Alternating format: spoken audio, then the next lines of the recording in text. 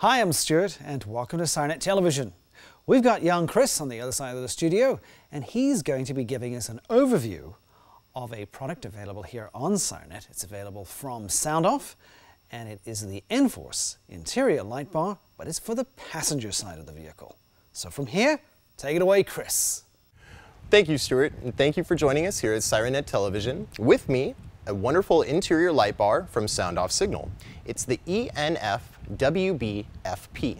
It's an interior light bar that's part of the nFORCE family, and this version is a one-piece that's designed for passenger side mounting on your vehicle. Included with the one-piece passenger half nFORCE interior light bar is a wonderful set of aluminum black powder coat finished mounting brackets. These are included along with this, and depending on the vehicle that you're working with, take a look at our drop-down menu that will offer you vehicle-specific brackets as well as a universal bracket set. So if you're not working with a vehicle that's in the top four, top five for law enforcement special service packages, the universal install kit will work wonderful for you. Also to fashion the brackets, onto the nFORCE interior bar and in turn fashion this onto the vehicle's headliner, there is a nice packet of hardware, nuts and bolts included. The nFORCE bar itself is put together with a total of four modules. It's in a nice self-contained shroud and with that, black powder coat finish, and it's actually an aluminum extrusion. Included is a set of rubber gaskets that actually go onto the edge, as you can see here on the front curve, and on the side profile that would be next to the rear view mirror.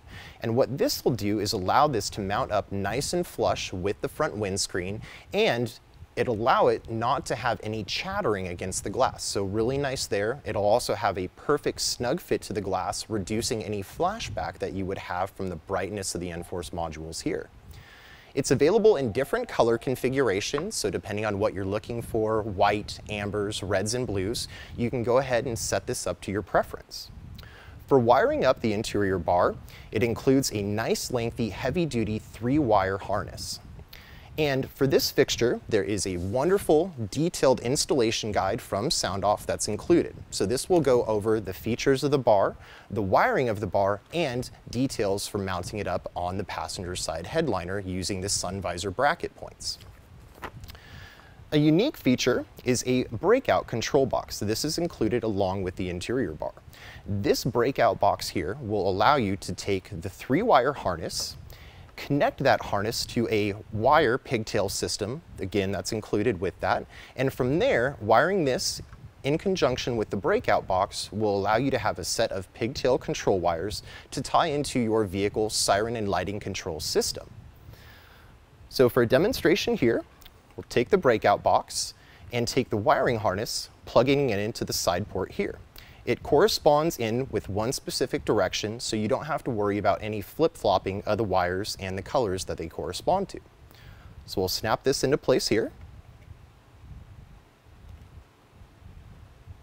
And on the breakout box, there's two holes that go through the plastic housing. That will allow you to mount the breakout box in a position of your choosing. So in a system where you have a center console or on a rear electronics tray with the rest of your electronic equipment.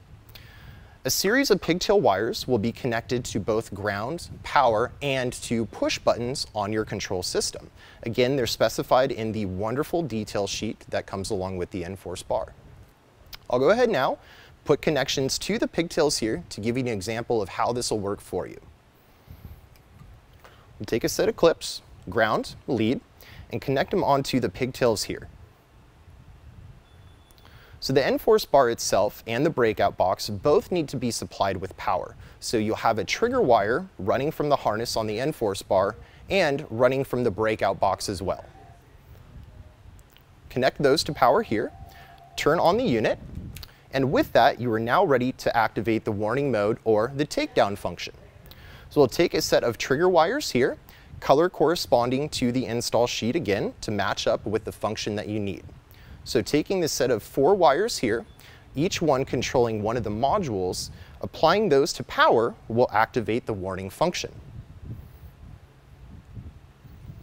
As you can see, nice and bright, we have a version put together here that's configured with white, blue, and red. The nFORCE bar does allow you to go through and make adjustments to the flash patterns. So with that, when you're doing your initial install, you can go through and pick pattern displays that are appropriate for your configuration. As you can see, a wonderfully put together passenger side interior light bar from our friends at Sound Off Signal. Included is mounting hardware, again, vehicle specific and universal, a breakout box to tie the wiring in and lets you tie this in to your siren and lighting control system. I'm Chris. Thanks for joining me here on SirenNet. Back to you, Stuart. Thanks, Chris. Always nice to know how the nFORCE interior passenger side light bar works. And a great overview from Chris. Thanks, Emil. You've been watching SirenNet Television. I'm Stuart, and thanks for watching.